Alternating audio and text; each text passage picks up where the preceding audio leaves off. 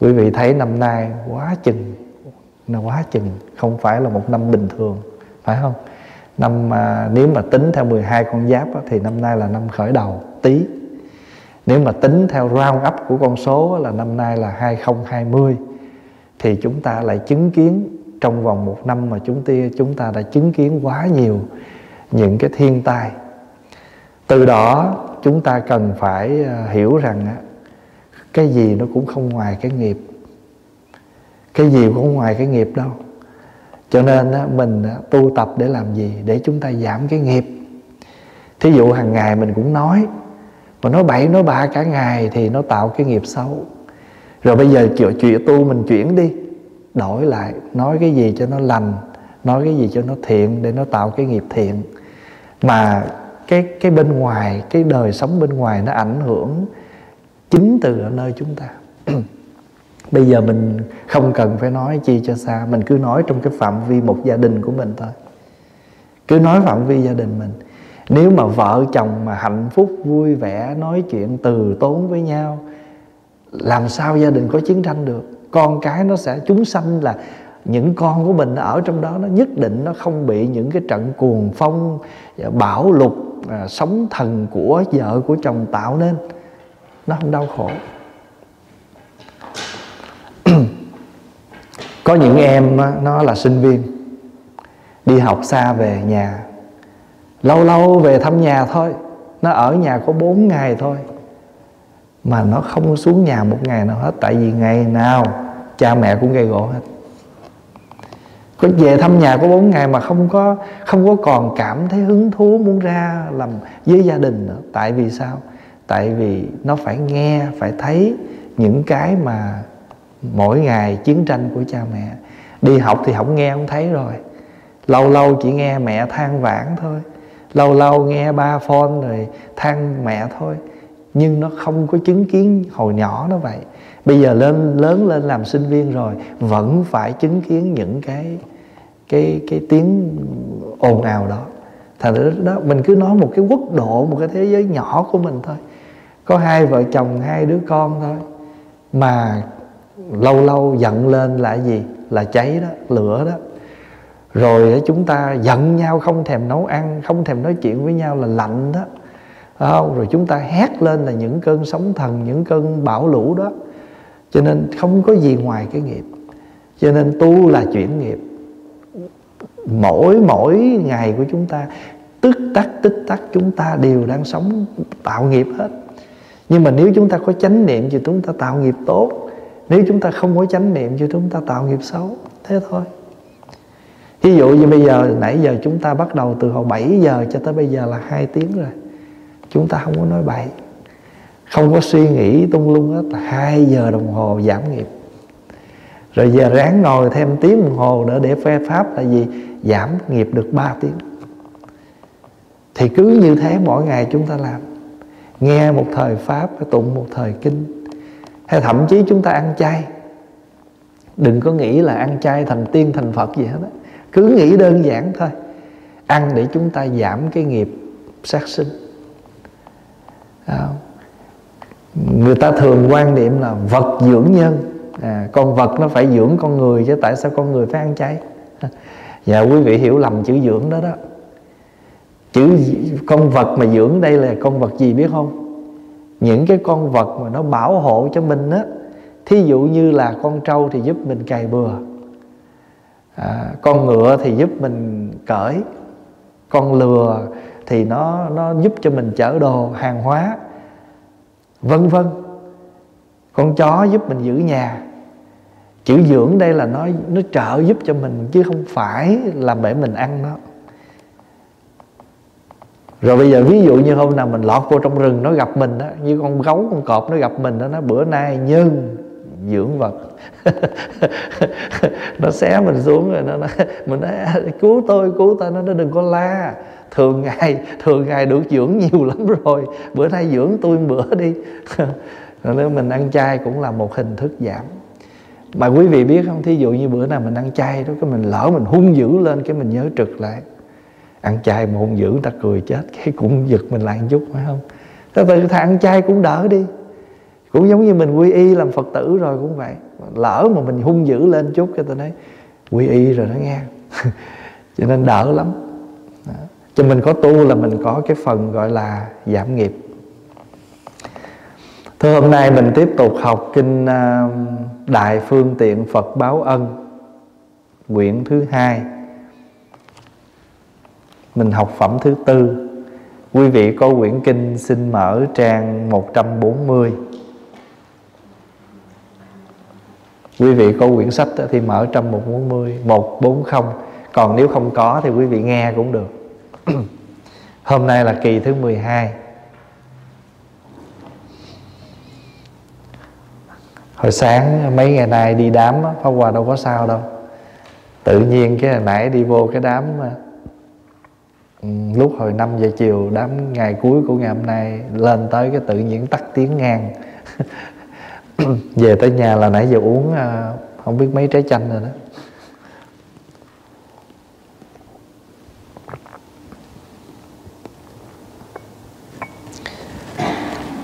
Thưa phẩm này là nói về à, phát tâm Bồ Đề. Tuần rồi mình đã giải thích rồi. Thế nào là phát Thế nào là Bồ Đề? Phát tâm Bồ Đề nghĩa là chúng ta khởi cái tâm, Tỉnh thức, Giác ngộ. Khi mình thấy cái điều đó sai, Chúng ta tự động ý thức, Chỉnh sửa Cũng là một hình thức phát tâm Bồ Đề đó.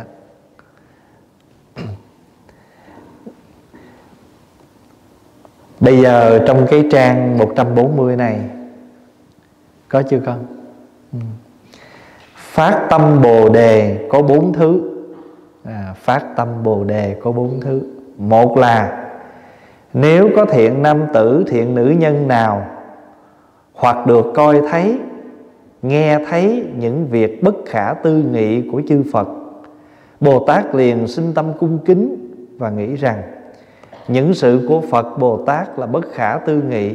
Nếu Phật Bồ Tát chứng được sự bất khả tư nghị ấy Thì ta đây cũng quyết sẽ chứng được đạo vô thượng Chính đẳng chính giác. Cho nên ta dốc lòng nhớ nghĩ đạo Bồ Đề Và phát tâm vô thượng Bồ Đề Đó là cái thứ nhất Nghĩa là sao? Câu này nghĩa là sao? Nghĩa là phát tâm Bồ Đề có bốn thứ Một á Nếu có người nam, người nữ nào tức là chúng ta nè người nam người nữ nào được thấy được nghe những việc làm không thể nghĩ bàn gọi là bất khả tư nghị nếu mà bị dịch ra tiếng việt là những việc làm không thể nghĩ bàn của phật của bồ tát thì chúng ta liền sinh tâm cung kính. Bây giờ pháp hòa xin thưa đại chúng cái nhỏ thôi.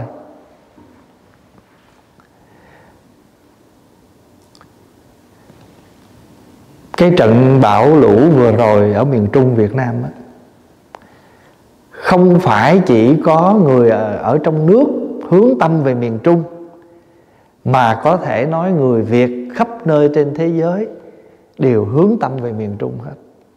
Chỉ trong vòng có 3 tuần lễ trở lại. Mà quý vị chỉ có 3 tuần lễ trở lại mà quý vị thấy bao nhiêu cái lũ, bao nhiêu cái ngập lụt. Trời ơi, tàn phá quá chừng. Có những lúc mà có một, có những đêm mà ngồi mà coi mà khóc, sướt mướt ở trong theo cái cái cái cái cái những cái gì mà người ta quay lên cho mình coi thì mình thấy những cái việc làm của những cái người mà người ta lăn xả vào trong cái công cuộc đi cứu trợ như vậy đó, có thể không thể nghĩ bàn không? Có thể mình làm không được. Không có thể mình làm không được. Ở đây mà mình à, xin lỗi, mình à, lâu lâu mình à, volunteer làm thiện nguyện cho những cái chỗ nhà già bệnh viện một chút là mình đã sợ muốn chết. Mình nhóm mình gớm ghê, vân vân cho nên có những cái công việc ở đời này người ta làm bất khả tư nghị. Bất khả tư nghị là gì? Không thể tưởng được không thể nghĩ rằng người đó có thể làm được những việc như vậy. Pháp Hòa nghe nói tại Không có coi tin tức nhiều Chỉ nghe quý Phật tử kể là Những anh chị à, à, nghệ sĩ ca sĩ ở Việt Nam lần này cũng cúi cũng cũng góp sức rất là nhiều có những ngày mà những đoàn đi ra cứu trợ, các thầy phone qua thăm Pháp Hòa nói, trời, bây giờ là ai cũng đổ ra miền Trung mà đi đi cứu lục, đi cứu lục mà ngạt đường hết. Giống như là đi trải hội vậy đó. Cho mình mới thấy rằng á, lần này mình mới thấy là cái cái cộng đồng người Việt của chúng ta rất có lòng, rất có tâm, thương nghĩ đến và quý Phật tử khắp nơi cũng vậy, nghe mình ở đây kêu gọi, cứu lục. Các vị cũng không quản ngại, dục mặc dù trong lúc này ai cũng đang gặp khó khăn, nhưng rồi cũng giang tay góp sức. Cũng giống như tháng tư vừa rồi, khi dịch mới bắt đầu bệnh, thì khoảng tháng tư thì cái vụ mà nước mặn ở miền tây đó, rồi quý phật tử cũng cùng với pháp hòa chúng ta gửi một ít về bên đó để mà làm một vài cái cái cái nơi mà có nước ngọt cho người dân miền tây dùng. Đó. cho nên nếu có người nam, người nữ nào được coi, tức là coi thấy, tức là được thấy đó, nghe những việc không thể nghĩ bàn của phật, của bồ tát, thấy như vậy thì làm gì? Liền sanh tâm cung kính và nghĩ rằng những sự của các vị này nè là bất khả tư nghị, là không thể nghĩ bàn nếu phật bồ tát chứng được cái đó, thì ta đây cũng quyết chứng được. Nghĩa là mình nhìn người ta, mình nghe, mình thấy người ta mình làm gì, mình quyết quyết làm cho được. Dù mình làm không được lớn, nhưng ít ra mình cũng thể hiện. Mình cũng thể hiện một chút gì đó. Cho các vị mà gửi về dù hai chục, ba chục phá quà đều quý hết. Tại vì đây là cái lúc chúng ta thể hiện cái tấm lòng đó là lúc chúng ta thể hiện tấm lòng. Cũng giống như à, quý vị nào mà đã từng đến Trúc Lâm này Mới hiểu được cái hoàn cảnh Pháp Hòa chia sẻ là Cái nặng lòng của Pháp Hòa là Pháp Hòa chưa lo được cho các thầy. Có một cái chỗ ở cho nó đàng hoàng.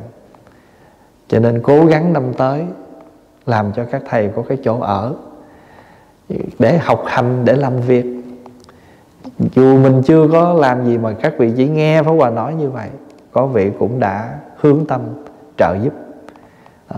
cho nên cái đó mình thấy người khác làm. Và bây giờ mình nhìn lại những cái công việc mà mình nghĩ rằng tới giờ phút này mình làm được những cái việc không thể nghĩ bàn. Cái hồi Tây Thiên mới vừa bắt đầu nhận là tổ chức Phật Ngọc. Tổ chức Phật Ngọc là 2010 Mà lúc đó Tây Thiên chưa có gì hết. Rồi bắt đầu phải bắt tay vào công việc Để mà tu sửa phần 1 Để làm sao cho kịp cái Phật Ngọc Mà quý vị tưởng tượng Dân ém mình tin mình mấy người? À, Rồi Phật tử mà tình nguyện đi chùa Công quả được mấy người? Trời lúc đó đủ thứ chuyện. Vậy mà chúng ta làm xong cái công trình Phật Ngọc Suốt cả 10 ngày cho ăn mỗi ngày ba cử, sáng, trưa, chiều. Ăn free hết. Pháp Hòa nhớ chú Kiệt là ông đi chợ nước về ông cho mua trái cây. Tại lúc đó mình cho ăn không mà. Ai tới giờ nào cũng có nước uống hết. Cho nên mình mới biết rằng các anh em, bây giờ quý vị lên Tây Thiên. Lâu lâu quý vị mới lên làm quý vị thấy bất khả tư nghị những không có quản ngại, những cái giờ phút lạnh lẽo, những cái cuối tuần phải hy sinh giờ giấc cho gia đình. Đó là mình nói những chuyện gần trước mắt mình thôi. Còn biết bao nhiêu việc, những cái việc bất khả tư nghì mà xung quanh chúng ta, ở tại địa phương chúng ta, hoặc là những cái chuyện mà trên thế giới chúng ta nghe thấy cho nên những sự của chư Phật Bồ Tát là bất khả tư nghị. Bất khả tư nghị nghĩa là không thể nghĩ bàn, Không thể suy nghĩ và không thể luận bàn được việc đó. Nếu Phật Bồ Tát chứng được bất khả tư nghị ấy, Thì ta đây cũng quyết chứng được đạo vô thượng chánh đẳng chánh giác. Ta nên dốc lòng nhớ nghĩ đạo Bồ Đề Và phát tâm vô thượng Bồ Đề. Cái đạo Bồ Đề là gì? Là đạo giác ngộ. Đạo là con đường, Mà con đường thì nó nhiều đường lắm, mình đi trật đường không thể tới được cho nên cái đường mà chúng ta đi là đường giác ngộ điều thứ hai hai là lại có người không được coi thấy những sự bất khả tư nghì của chư Phật Bồ Tát, mà chỉ nghe thấy cái tạng bí mật của chư Phật. Tạng bí mật là gì biết không? Là giáo pháp. Hồi nãy mình lại quan âm có một câu là Nam mô Diệu Tạng đó diệu tạng là gì? Tạng là gì? Tạng là chứa. Tạng là chứa. Mà ở trong cái cái cái kho chứa đó đó, cái ý màu nó sâu lắm.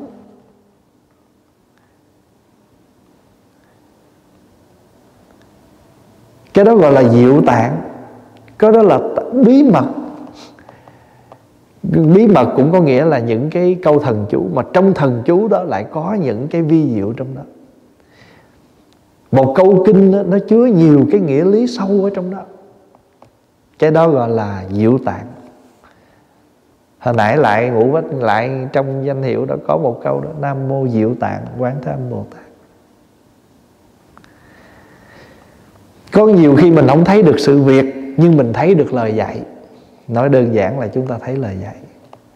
Ví dụ như bây giờ nè mình đâu có thấy được à, đức phật à, hàng phục ngoại đạo ra làm sao nhưng mà mình giờ mình chỉ đọc lại những lời kinh thôi, những lời phật dạy rồi các vị ghi chép lại. Chỉ nghe thấy cái tạng bí mật của chư Phật Bồ Tát liền sinh tâm cung kính, tin tưởng. Những cái lời dạy của Phật mình có cái tâm cung kính, tin tưởng. Cầu đạo vô thượng, chánh đẳng, chánh giác và ma ha bát nhã ma ha là rộng lớn bát nhã là trí tuệ. Trí tuệ này là trí tuệ rộng lớn cho nên phát tâm bồ đề. À, hồi nãy là cái đầu là gì? Thấy nghe việc làm đó. Bây giờ mình không thấy không nghe. Chúng ta không nghe mà chúng ta thấy được. Chúng ta nghe được cái lời dạy sâu màu. Cũng giống như mỗi tuần mình về đây, mình học kinh. Hồi nào giờ mình cũng đọc kinh vậy, nhưng mình đâu có hiểu cái nghĩa đó là cái gì. Nhờ hôm nay mình nghe cái tự nhiên mình hiểu được cái đó. Đó, cái đó là nghe được cái tạng bí mật. Quý vị ờ, phong hòa, ví dụ như mình đọc trong kinh mình nói có bồ tát đóng chặt cái tay nói trời ơi, bồ tát gì mà chặt cái tay rồi liền cái tay lại. Nghe thần thôi, thần thoại quá. Nhưng mà chặt cái tay là gì? Cái tay là thường để làm cái gì? Để cầm, để nắm, phải không?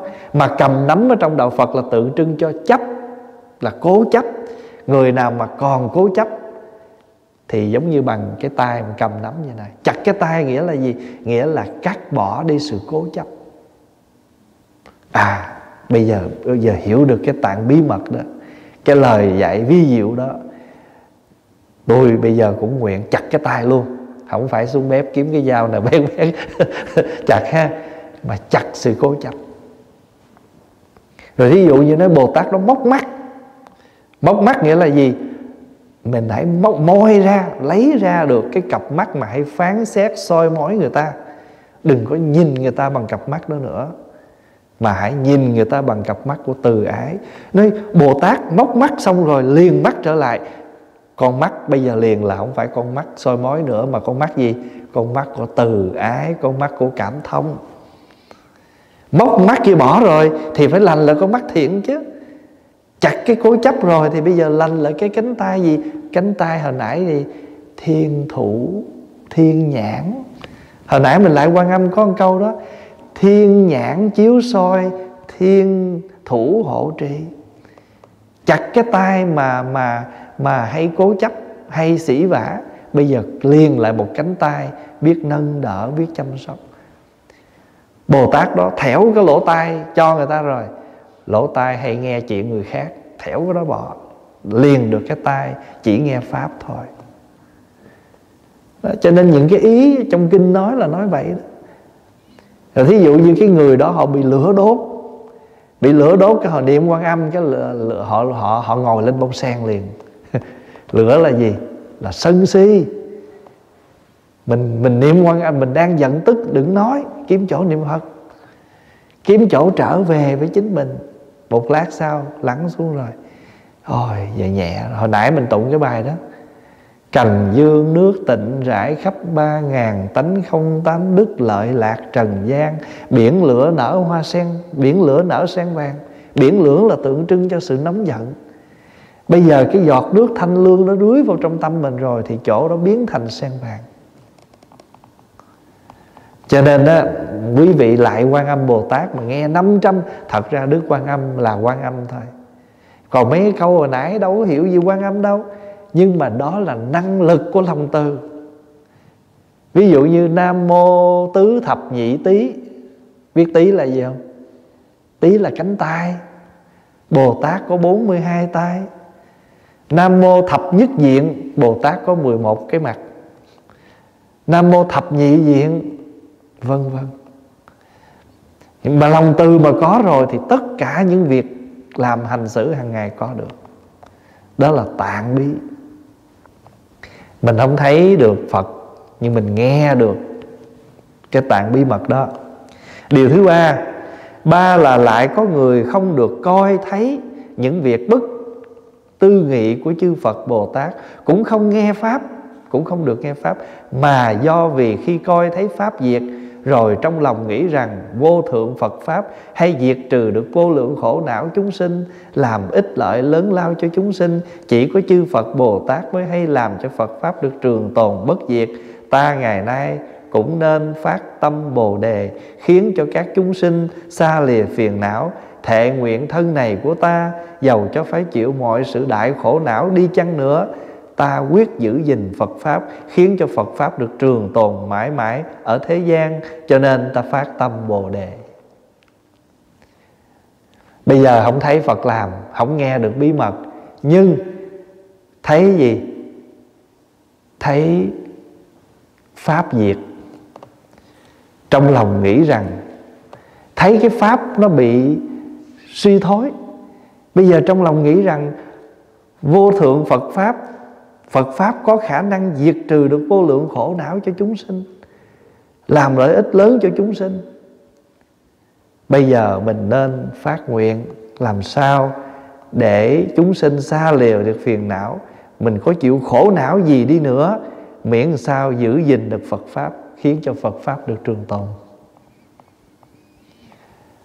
Hồi nãy à, lúc Pháp Hòa khuyến thỉnh đại chúng ngồi chắp tay hướng nguyện Đức Quan Âm. Mỗi người có mỗi nguyện, phải không? Quý vị biết pháp hòa nguyện gì không? Pháp hòa mà chấp tay là pháp hòa hồi hướng hòa nguyện. Pháp hòa không có nhớ cha, nhớ mẹ, nhớ ai, không có bao gì cho mình đó con chỉ nguyện cho các thầy đệ tử của con trọn vẹn được đường tu để gìn giữ Phật pháp ở ngoài này. Chưa bao giờ ông mà chắp tay lại qua nó nguyện cho mẹ con hết bệnh, ba con hết bệnh. Không có. Mà nếu có đi nữa, mấy chuyện đó là chuyện thứ. Tại vì phật pháp trường tồn mới là chuyện chính. Còn cái thân thể của chúng ta đây thì thủy chung, có ngày cũng phải bệnh, phải chết. Phật pháp trường tồn thì chúng sanh mới an lạc còn người thân của mình mà có khỏe mạnh đi nữa, lợi lạc cho bản thân, gia đình mình thôi, con cháu mình thôi. Nhưng mà mình là người tu, mình phải đưa cái tâm mình nó rộng. Đi qua ấn độ, lại phật cũng vậy. Hay làm bất cứ việc lành gì mà chấp tay lên nguyện, Pháp Hòa không có nguyện cho bản thân, Cũng chẳng nguyện gì cho người thân mình. Chỉ mong làm sao các thầy giữ được con đường tu của mình, Để giữ Phật Pháp Phật Pháp trường tồn mới là điều hệ trọng, còn xác thân này chỉ là cát bụi mà thôi. Cái câu đó đâu biết không? Ở trong cái bài nói về ngài Bồ Tát Quảng Đức, năm 1963 khi mà ngài tự thiêu đó, để mà mà mà tranh đấu cho Phật pháp đó, thì à, ông à, ông nhạc sĩ à, cổ nhạc Viễn Châu đã viết cái bài đó cái bài đó có tên là quả tim bất diệt hay là trái tim bất diệt. Thì trong đó có một câu đó. Cái câu đó đó, Phật Pháp trường tồn mới là điều hệ trọng, Còn xác thân này chỉ là cát bụi mà thôi.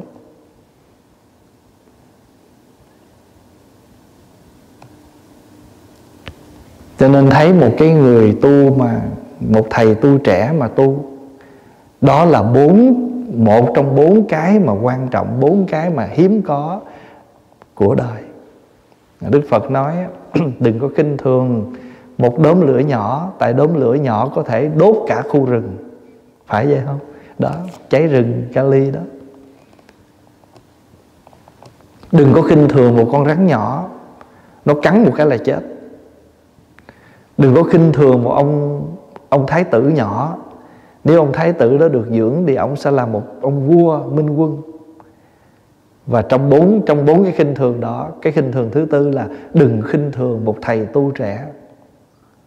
Tại vì thầy tu trẻ nếu mà tu học cho đàng hoàng thì có thể làm lợi ích cho rất nhiều người.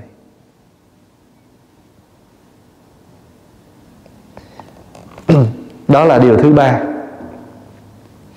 cho nên khiến cho chúng sinh xa lìa phiền não thệ nguyện thân này của ta Dầu cho phải chịu mọi sự đại khổ não đi chăng nữa Ta quyết giữ gìn Phật Pháp Khiến cho Phật Pháp được trường tồn mãi mãi ở thế gian Cho nên ta phát tâm Bồ Đề.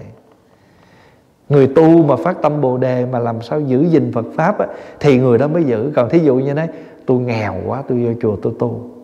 Thì ảnh chỉ lên ăn thôi. Chẳng chỉ lo anh sung sướng thôi. Còn nếu mà anh nghĩ rằng tôi vì Phật Pháp mà tôi tu Thì anh sẽ chịu cực. Anh sẽ chịu cực, chịu khổ. Phụng sự chúng sanh mà không có mỏi mệt. Tại sao? Tại vì đó là tâm nguyện của mình. Thì ngược lại, Ví dụ như mình mình xin lỗi, Ví dụ như bây giờ mình thương cái người đó, Mình mới lấy người đó làm chồng, Mình mới lấy người đó làm vợ đi, Thì mình có tình thương trong đó cho nên là sao? Mình sẽ hết lòng mình chăm sóc người đó. Còn mình nói là, tôi không có thương yêu gì người đó hết á. Tại vì người đó có tiền tôi tôi thích thôi. Thì trong cái sự gần gũi đó, nó không có tình thương, nó không có sự chăm sóc. Cho nên nếu mà chúng ta làm việc gì mà chúng ta có tình thương trong đó, có ý nguyện trong đó, thì chúng ta sẽ làm hết lòng. Mình nấu ăn cũng vậy, mình làm việc gì cũng vậy, mà mình để cái tâm mình vào trong đó thì cái việc nó sẽ khác.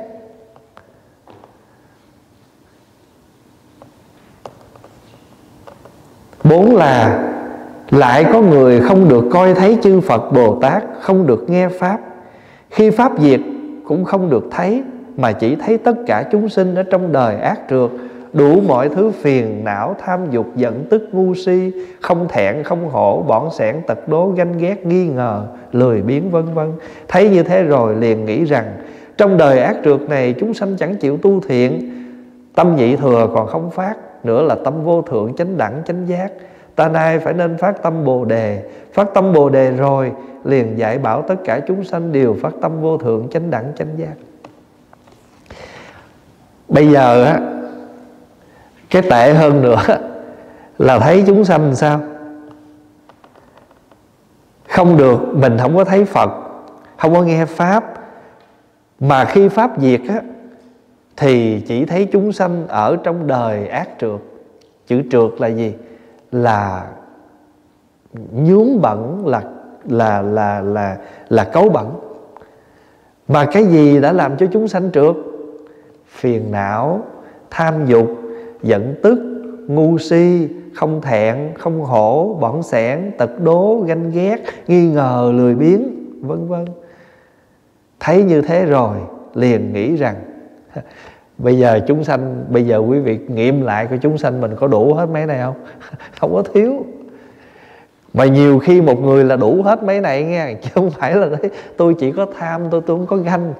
Không có nhiều người á, có nhiều chúng sanh là coi như đủ hết các bệnh đó mà giờ không biết đưa thuốc nào uống nữa đó.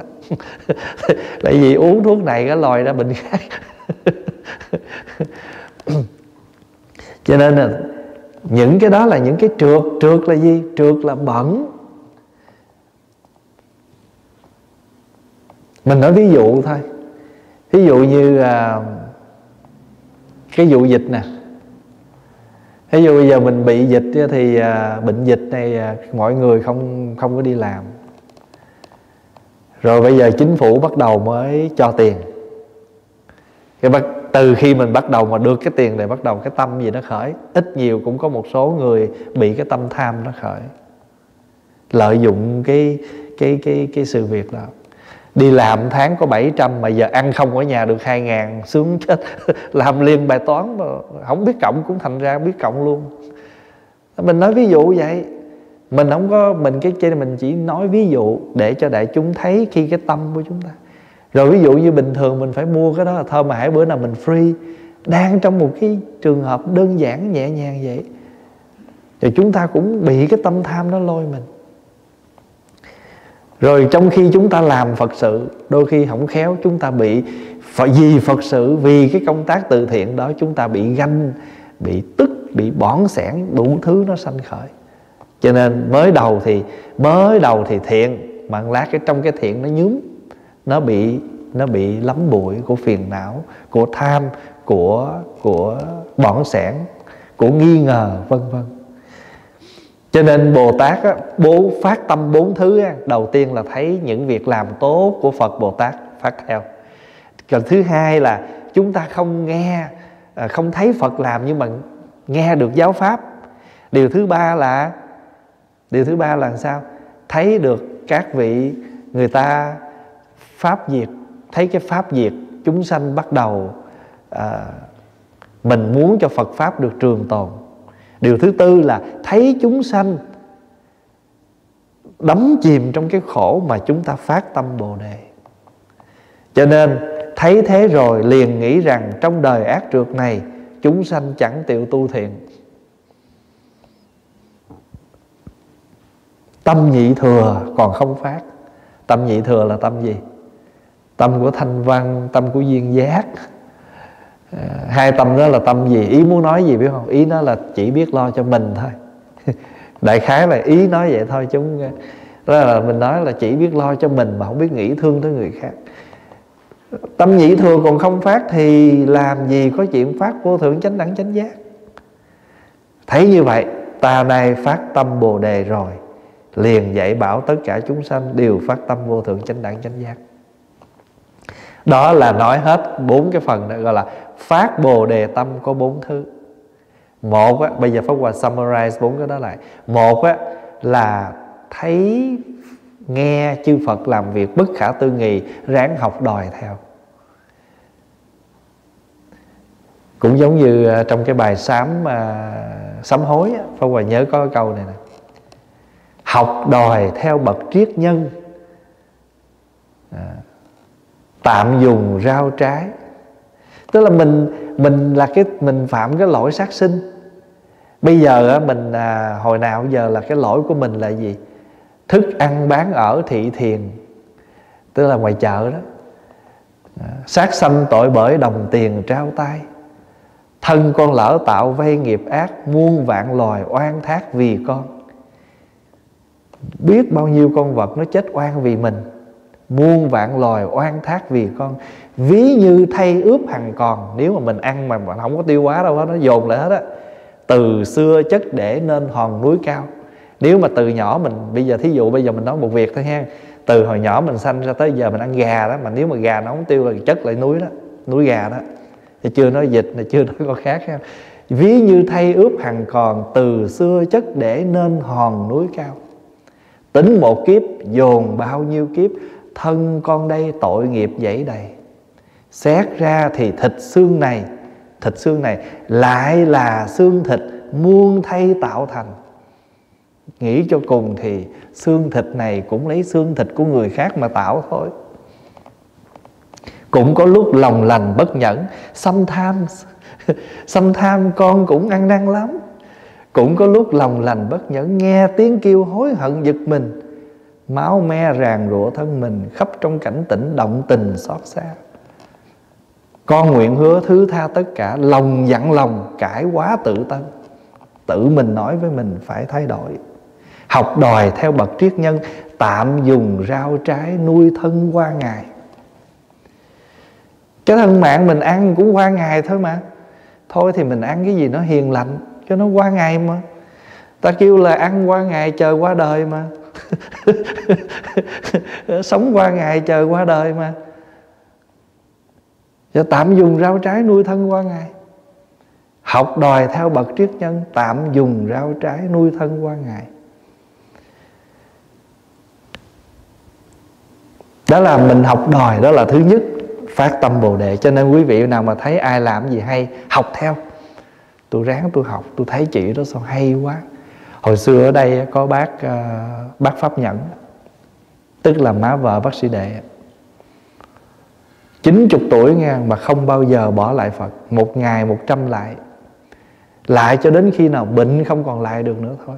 Còn mấy cái bài sám mà hay hay á, bà đem bà học hết trơn. Có bữa bà lên bà ngồi bên hông này nè. Bà đem cái bài sám đó bà ngồi bà đọc. Học thuộc lòng. Bởi vậy cho nên á, khi mà bà sắp chết á, quý thầy lên mà thử bà đó, đọc kinh tới đâu, bà đọc tới đó. Mặc dù nằm không biết gì hết đó nằm mê man vậy mà pháp hòa lợi nói, bác a di đà phật thân kim sắc. Bà đáp lại liền, tướng hảo quang minh vô đẳng luân. Tôi kinh phật nó thâm nhập vô rồi.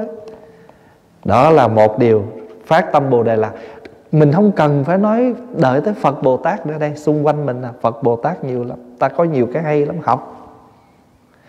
Nhưng mà có những cái dở cũng phải học nữa, biết không? Học bỏ đi.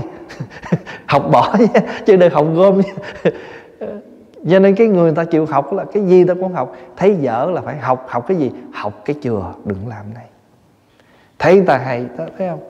Ta sống sao mà ai cũng thương hết trơn mình học đi. Còn mình sống làm sao mà ai cũng né hết trơn. Học. Đó là điều thứ nhất, phát tâm bồ đề. Điều thứ hai, nếu chúng ta không có thấy được việc làm, nhưng mà chúng ta nghe pháp nghe pháp mà thấy được những cái lời hay của phật dạy, tin tưởng tu học cũng là phát tâm bồ đề.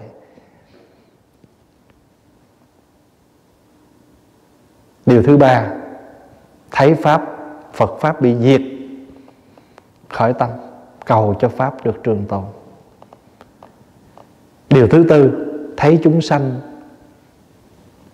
can cường, tội lỗi, chúng ta phát tâm bồ đề cũng giống như pháp hòa nói vậy nè. Nếu như mình thấy cha mình, mẹ mình, vợ mình, hay chồng mình, hay con mình, trời ơi, sao nó hung dữ mà mình nói nó không được. Đây, có nhiều người có con con cầu, con khẩn rồi nghe. Sanh ra cái trời nó lớn lên, nó phá làng, phá xóm, nó tán gia, bại sản hết cũng gì nó. Cha mẹ đau khổ vô cùng có cậu quý tử, con cầu, con khẩn giờ sanh ra, đó. Bây giờ mình cầu mình khẩn nó tao lại mày mày đừng có phá nữa. Tao lại mày mày tha tao đi. Giờ cũng cầu nó đó. Nhưng mà cái đó là cái gì? Nếu thấy như vậy, phải sám hối. Đó là nghiệp chướng. Lẽ ra nó đâu làm con mình nó ai biểu mình réo nó vô đâu. Nó đi lang thang mà. Mình quắt nó vô vô nhà má, làm con má đi con thì nó mình nói đùa vậy đó. Tức là mình rước cái cái cái cái nợ về. Ở đây mình nói, trong cuộc sống của mình nếu như mình lỡ mình gặp người thân nào mà mình giáo hóa không được, mình biết chắc một điều là nghiệp lực của họ nặng, nghiệp lực của mình cũng nặng. Sao đổ? Chỉ có một việc thôi, lo tu, lo sám hối cái nghiệp của mình nó nhẹ, cái đức mình nó sanh mới cảm hóa được cái người đó. Quý vị nhớ là đức trọng quỷ thần kinh. Đức trọng quỷ thần kinh, cái đức của mình nó lớn rồi quỷ thần còn phải sợ. Mà giờ muốn có cái đức thì phải làm gì? Chỉ có tu tập, sống thiện mới có cái đức. Sống thiện mới có đức. Cho nên muốn cảm hóa những người dữ á, chỉ có khi nào mình đem cái năng lực tu tập của mình mới chuyển hóa được. Quý vị coi trong phim coi. Những cái người mà hung tợn mà được cảm hóa là từ những ai? Toàn là những người gọi là có cái có, có cái tâm đạo độ lượng mới độ được họ không à? Còn cái tâm mà hung dữ giống họ không độ được họ đâu. Tại vì sao? Họ nói anh có hơn gì tôi? Thật ra tôi gần anh tôi cũng anh cũng xấu vậy thôi. Cái người mà cái tâm thiện nó mới cảm hóa được đó là bốn điều mà Phật dạy phát tâm bồ đề có bốn loại.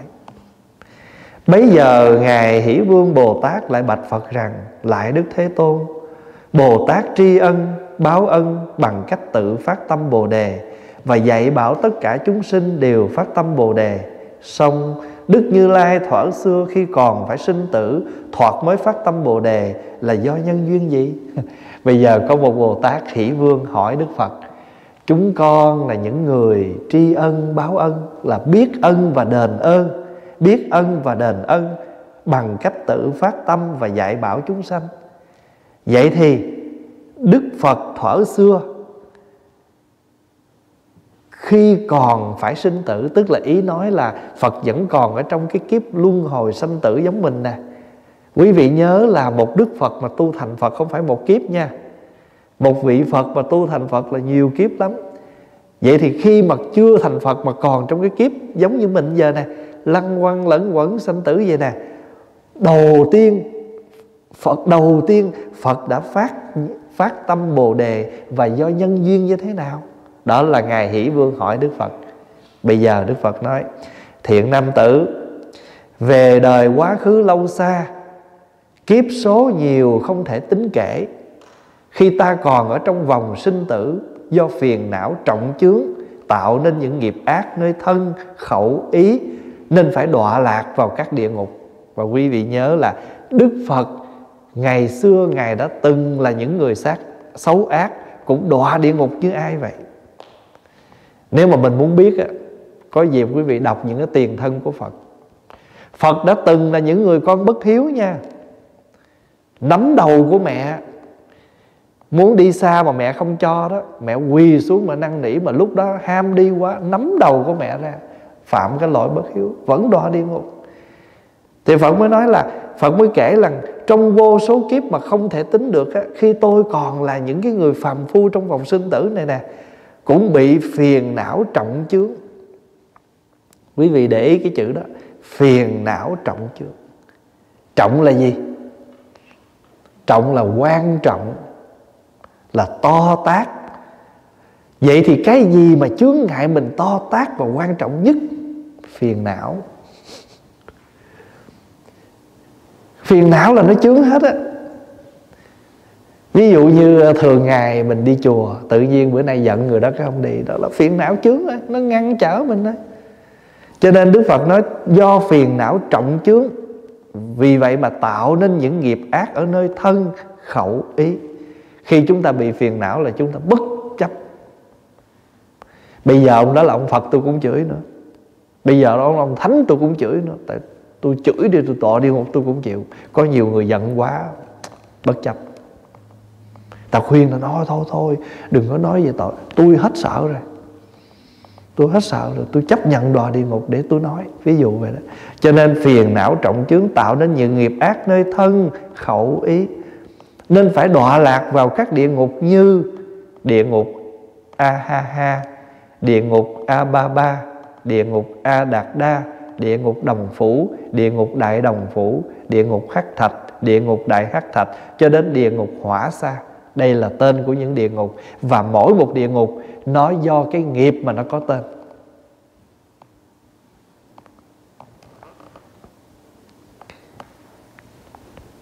Cho nên à, cho đến địa ngục hỏa xa ta nhớ khi ta phải đọa vào địa ngục hỏa xa. Ta cùng với hai người bạn phải kéo một cái xe lửa. Chữ xa là xe hỏa xa là ở trong cái ngục đó. Toàn là những chiếc xe lửa. Xe mà nó cháy lửa đó nó cháy phừng phừng vậy đó. Thì tùy theo cái ngục chuyên về cái gì thì nó có cái tên đó. Quý vị nào muốn biết tụng kinh địa tạng kinh địa tạng nói đủ hết đó. hoặc có địa ngục chỉ đập chân tay hoặc có địa ngục lao gai trong sắt rồi cho người tội. Thì nhớ không? Lấy cột đồng ôm mỗi một ngục đó, nó có một cái cái special cái đặc biệt của nó. Giống như bây giờ là mình à, muốn department nào mình đi tới cái department đó nó có hết vậy đó. Bây giờ phật nói là ta nhớ ta nhớ khi ta phải đọa vào địa ngục hỏa xa ta cùng với hai người bạn phải kéo một cái xe lửa bốc cháy ngùng ngục. Quỷ đầu trâu tên là a bàn ngồi trên xe mắm miệng nghiến răng trợn mắt, miệng mắt tai mũi đều phun ra khói lửa, thân thể to lớn, tay chân gân guốc, hình sắc tía đen, tay cầm gậy sắt đánh đập luôn luôn. Mặc dầu ta bị đánh đập đau đớn, nhưng vẫn cố sức kéo lúc đó, hai người bạn của ta vì hơi sức yếu đuối kéo không nổi nên bị quỷ đầu trâu a bàn. Lấy đinh, ba bằng sắt đâm vào bụng. Lấy gậy bằng sắt đâm đập vào lưng. Máu phun ra như suối chảy, đau đớn khó nhẫn. Những người ấy cất tiếng kêu gào rất thảm thiết. Người thì kêu cha mẹ, người thì kêu vợ con. Cũng giống như mình bây giờ, đau quá, má ơi đau quá, cha ơi. Có nhiều người ờ, đói bụng quá, vợ ơi. Bình thường đói bụng thôi mà rên vậy thì xuống dưới còn dữ dội nữa. Thì có những người người thì kêu vợ con, nhưng giàu có kêu gào như thế cũng chẳng lợi ích gì đối với mình. Phim tàu này nói, ngươi giỏi thì la đi, la bể họng cũng không ai cứu ngươi đâu. lúc ấy, ta thấy những người bạn của ta chịu sự khổ não như vậy. Lòng ta sinh ra thương xót, nhân lòng sinh thương tưởng xót xa ấy.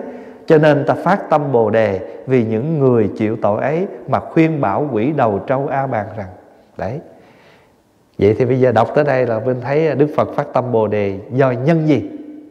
Nhân thấy bạn mình khổ.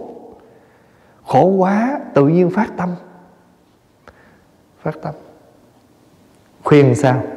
Những người phải chịu tội, đây thật đáng thương xót.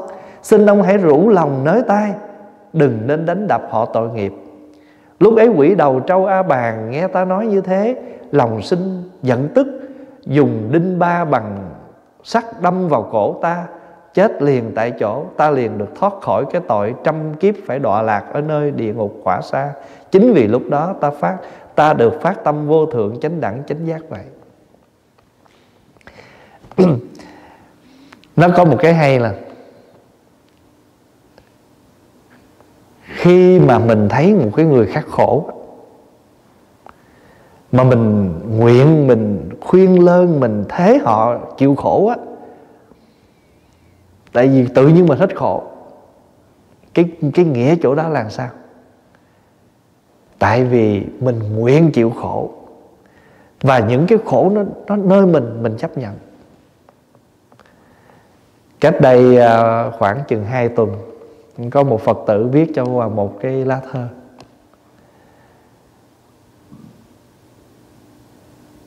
Con à, cảm ơn thầy. Dù thời gian bận rộn, nhưng mà thầy vẫn sắp xếp những chương trình tu học thế kia thế kia. Con nguyện thầy luôn khỏe mạnh. Hãy để những bệnh tật đó cho chúng con chịu để cho thầy khỏe, để thầy hoằng pháp lợi sinh. Mặc dù cái lời nói đó, tất cả những lời đó nó xuất phát từ cái gì? Từ cái tâm từ. Mà hãy từ cái tâm từ mà mà mà có rồi á, cái người đó có như thế nào đi nữa, người ta vẫn vui. Đó, quý vị thấy ờ, mình thấy ờ, trong cái khổ nạn mà người mẹ chịu cho chịu cho người con mình coi phim cũng vậy đó. Người ta đánh đập con mình, cái người mẹ, người cha lao vào. Chịu đánh đập. Bao nhiêu cái cái cái cái cái sự đánh đập đó ở trên thân cái người đó, nhưng mà người đó chấp nhận hết. Thì đức phật của mình cũng vậy. Khi mà ngài thấy người ta khổ quá người chịu không nổi người phát tâm. Một là khuyên, hai là chịu. Giống như có một lần mà ngài đọa xuống địa ngục mà thấy người bạn của mình nó bị đeo cái dòng sắt lửa đó giống như mình vậy đó. Đứng hai, ba người đứng một dãy vậy đó. Ngài nhìn qua bạn, ngài thấy bạn bị như vậy, cái ngày mới nói, tôi nguyện chịu thế hết cho những người bạn của tôi.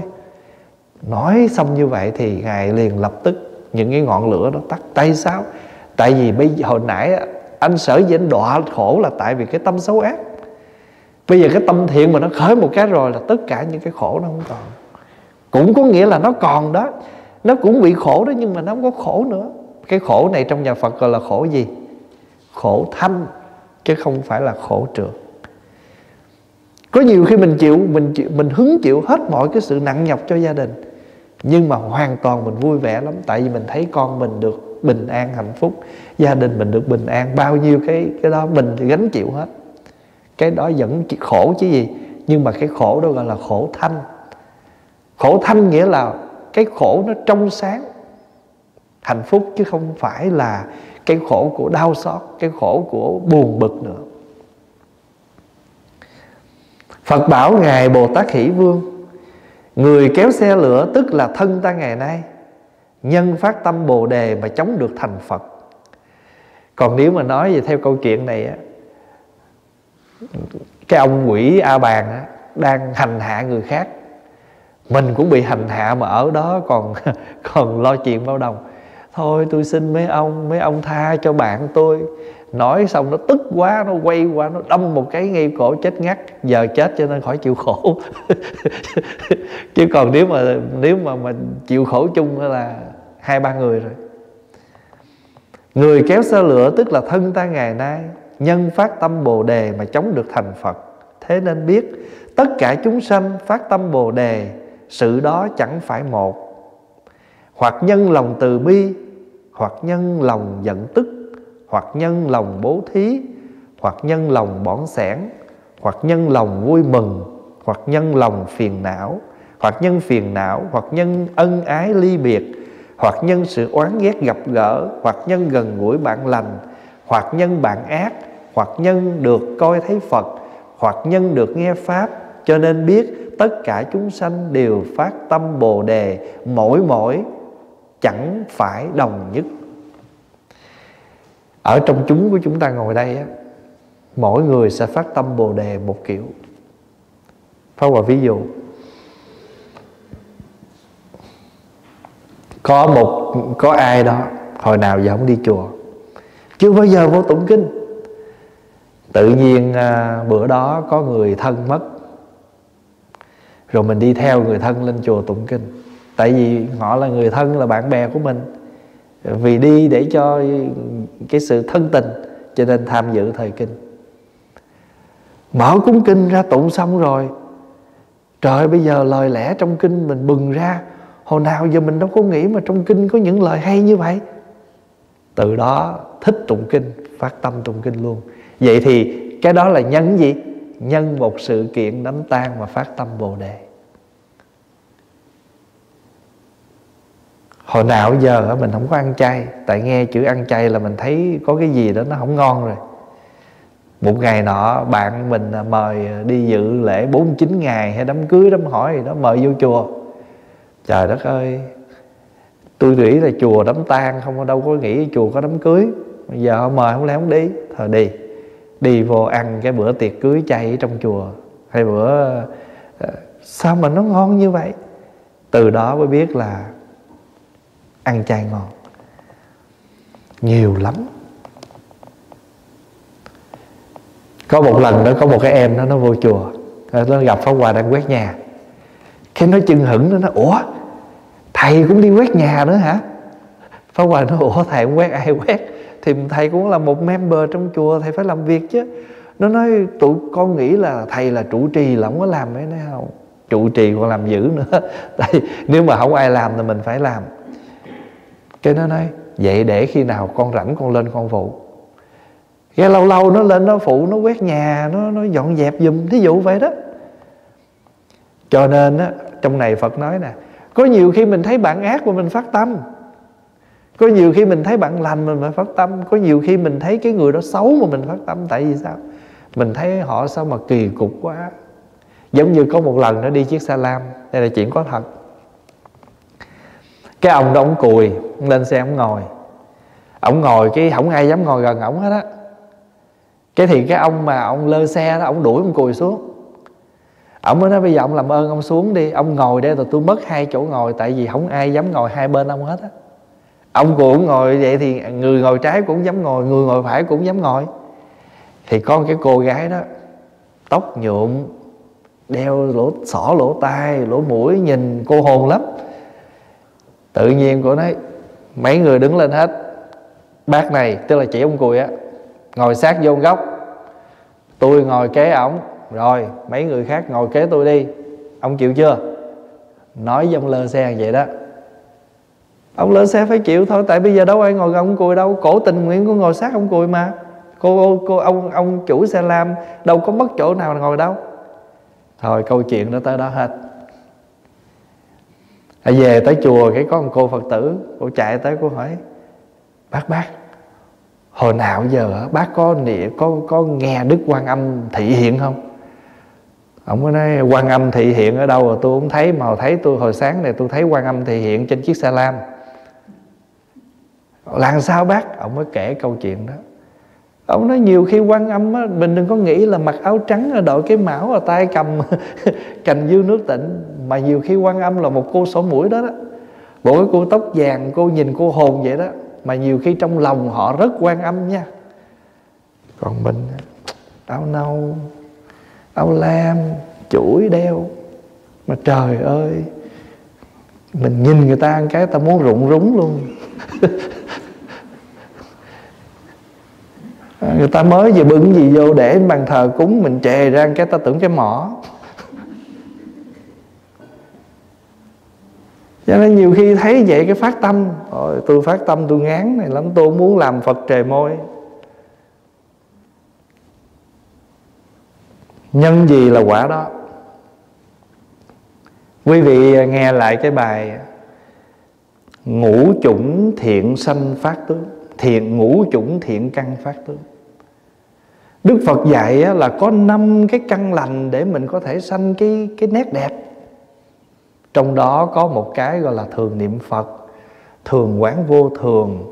Khởi thấy cái cuộc đời nó vô thường, sống nay chết mai đó, hồi nãy đi đám tang. À bà cụ nói, trời ơi, thầy ơi, ông đâu có bệnh gì đâu. Ông là ông nói với tôi, ông nói, bà ơi, tôi có chuyện tôi nói với bà, mới nói câu đó đó, mà chưa kịp nói câu gì nó quỵ xuống chết. Đó. rồi mình đi đám tang, mình nghe câu đó xong cái phát tâm bồ đề về tu liền. Tôi gấp. Mình không có làm được việc thiện thấy người khác làm việc thiện đừng có đừng có soi mói đừng có đừng có cản trở đừng có mình phải phải phải quan hỷ.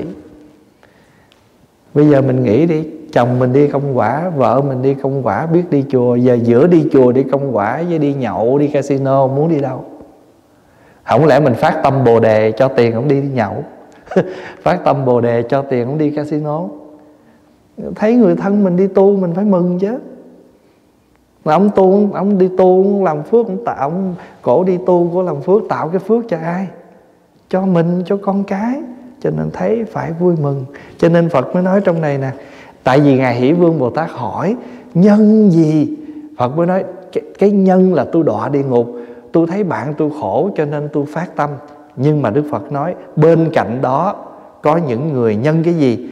Tất cả chúng sanh phát tâm bồ đề, sự đó chẳng phải là một, tức là không phải là một việc đâu. Hoặc nhân lòng từ bi. Có nhiều khi mình phát tâm vì thấy cái vị đó quá từ bi. Có nhiều khi mình phát tâm vì thấy người này giàu lòng bố thí. Có nhiều khi mình mình phát tâm bồ đề nhân mình thấy một chúng sanh sống với phiền não. Thôi, tôi thấy rồi tôi thấy cái chị này khổ lắm. Chị gì đâu mà chỉ giận từ sáng tới tối à Chuyện gì chị cũng giận được hết đâu Tôi thấy chị khổ quá đi. Thôi tôi nguyện tôi không sống như kiểu chị được đâu. Tại vì tôi thấy chị rồi tôi Chị sống rất là khổ. Chị ăn chị cũng thở dài Chị ngủ chị cũng thở dài. Chị ngồi đâu chị thở dài đó. Tôi thấy chị khổ quá. Tôi phát tâm tôi, tôi bỏ. Cho nên không phải thấy cái thiện mà phát tâm không Mà nhiều khi thấy cái xấu Cái dở cũng phải phát tâm.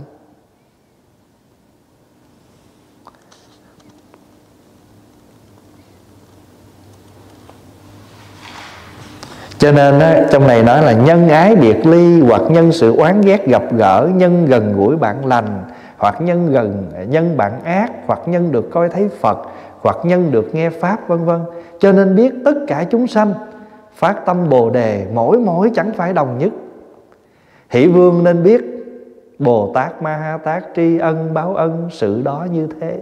Biết ơn và đền ơn sự việc là như vậy đó khi Phật nói Pháp ấy rồi, Có một vạn tám ngàn người đều phát tâm vô thượng, chính đẳng, chính giác.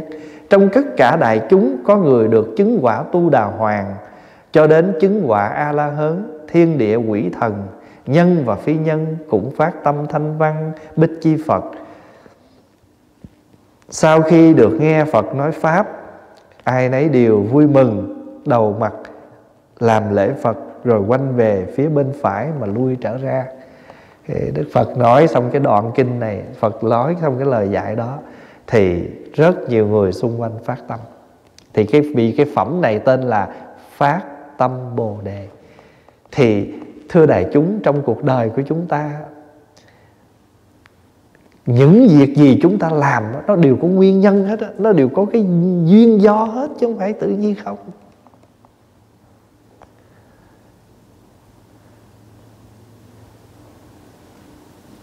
Có một lần có một chị phật tử lên đây gặp pháp hòa. Để ờ, gọi dẫn theo vài người bạn. Ờ, sau khi câu chuyện nói xong rồi cái mấy chị đi ra mới nói, tụi con ờ, lúc này dịch bệnh không có đi làm. Trên này thầy có cần gì lên phụ không? Nó trời, chùa thì lo gì, không có việc. Cái kéo nhau lên làm cái từ từ, cái quen gần gũi người này kia, cái bây giờ đi chùa thường, biết tụng kinh, biết làm công quả, biết tham dự những buổi pháp thoại, cũng là một nhân duyên. Nhiều khi chúng ta trong cuộc đời này, chúng ta thấy những cái gì mà chúng ta phát phát tâm. Cho nên hôm trước mình nói chữ phát nó có bốn loại, phải không? Tự phát, nhớ không? Hỗ trợ. Hỗ trợ thì gồm có hai loại, có nhiều khi thầy mà, thầy tổ giáo có những bậc thầy mình có những lời dạy. Vì vậy cho nên á bằng hữu của mình cũng là những người giúp cho mình phát tâm. Thế thì hôm nay chúng ta học cái phẩm này kết thúc. Để đại chúng nhớ là bất cứ việc gì chúng ta làm nó đều có cái nhân duyên phát tâm hết. Đấy hồi nãy có hai vị ở Calgary lên nè. Định ghé vô chùa. Mà uh, nói thiệt nha ghé vô chùa kiếm đồ chai rồi đi. xong cái hồi hỏi bữa nay có chương trình nó ờ bữa nay rằm nè có chương trình lễ quan âm nè thôi sẵn dịp mấy thở mới lên đây lần nè. Hồi nãy là có chương trình hết rồi đó. Giờ nghe ở đây có nhân cái chuyện này cái phát tâm ở lại. À, nghe pháp lại phật. Mà hãy cái thiện mình làm việc này thì việc khác mình khỏi làm. Mà việc khác thì nó đâu có sanh phước sanh đức gì đâu. Mà việc này nó được sanh phước sanh đức đó, nhiều đó thôi. Rồi có những người do người thân bệnh, do người thân mất, đi chùa lễ phật tụng kinh. Từ đó nhân cái cơ hội đó mà phát tâm. Vừa rồi đó có một cái gia đình, hai ông bà. Thì nhiều khi phần đầu á, bà mất, anh em chưa phát tâm nhiều. Mãi đến khi mẹ mất, tự nhiên các anh em bây giờ lớn hơn rồi. Có tuổi rồi biết nhìn cuộc đời biết quán chiếu rồi bây giờ lại có cái chiều sâu hơn trong vấn đề tu tập đời sống của một đạo đức của một người phật tử. Cho nên Pháp Hòa thấy những cái chuyện đó Pháp Hòa mừng lắm Mà tự nhiên những cái chuyện đó mình mới thấy rằng lời Phật dạy. Lời Phật dạy là nhiều khi á, Một cái nhân này nó nó rơi rụng Để muôn cái nhân khác phát sinh. Đúng quả thật như vậy. Cho nên nói là để đại chúng mình hơi hơi tích cực một chút ha. Có những người nghèo ở dưới miền ở ngoài miền Trung á cả đời họ đâu có được sự giúp đỡ như lần này. Đó. nhiều khi sau một lần này cái các vị được renew à, được làm mới trở lại đời sống của mình. Đó mình nói cái, cái phần tích cực á à, có nhiều khi cả đời chưa bao giờ cầm trong tay cả năm bảy trăm đô trị giá tiền nhưng mà lần này lại được người ta tới ủng hộ có khi lên tới đó. Hoặc là có khi thật sự là trong cái cuộc sống cái gì nó cũng có cái trong cái rủi á, nó cũng có cái cái hạnh phúc của nó.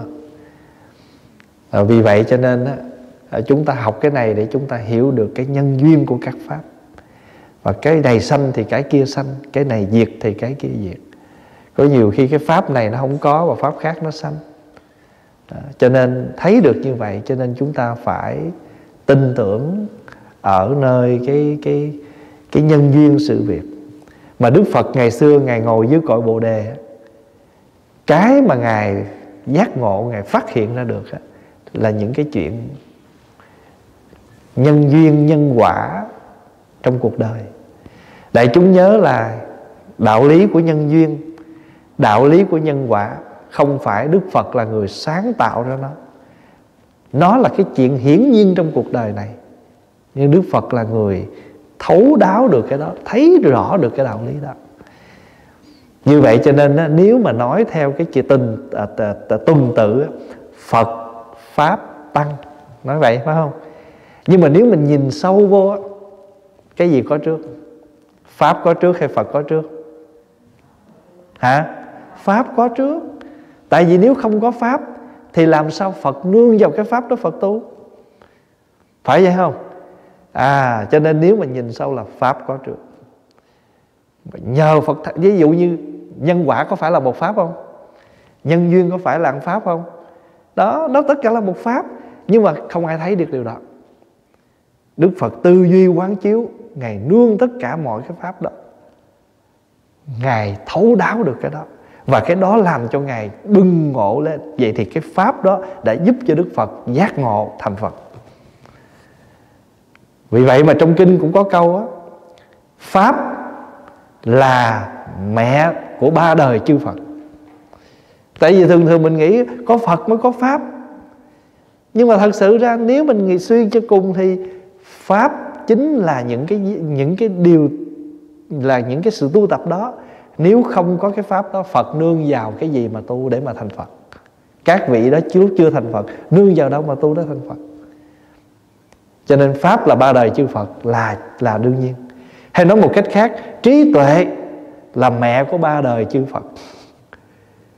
Mình không có trí tuệ thì không có thể tư duy, không có quán chiếu, không có suy tư gì hết, không thành phật được, không giác ngộ được cho nên một người giác ngộ là có trí tuệ, mà không phải là tự, phải có trí tuệ mới thẩm thấu được các pháp. Vậy mới thành phật được. Giống như hồi đó là mình làm ví dụ như mình đi, phàm phu không biết gì hết. Nhờ vô chùa, bắt đầu nghe pháp. Nhờ pháp làm cho mình tỉnh ngộ, tỏ ra bây giờ mình là một con người mới một con người sống có an lạc, một con người biết tha thứ, một con người biết thông cảm, một con người biết thương yêu, nhờ pháp mà mới có tôi ngày nay. Vậy thì bây giờ nói, trời ơi chị tốt quá chị giỏi quá. Dạ pháp đó. Pháp là con đường sáng dẫn tôi thoát cõi mê, đưa tôi trở về sống cuộc đời tỉnh thức. Thôi, chúng ta nghĩ tuần sau tiếp.